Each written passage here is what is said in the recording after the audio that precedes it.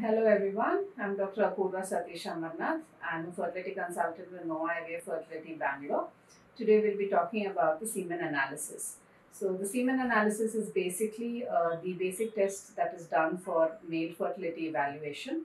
So how you basically interpret a semen analysis is uh, with three parameters. One is the concentration, that is the total sperm that is there, which needs to be more than 16 million per ml.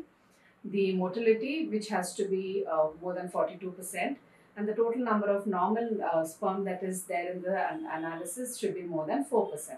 So if any of these parameters are on the lower side, there, there is difficulty in uh, getting pregnant.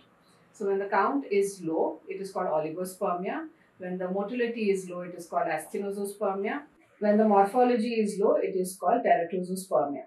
When the whole sperm uh, analysis shows no sperm at all, it is called azoospermia.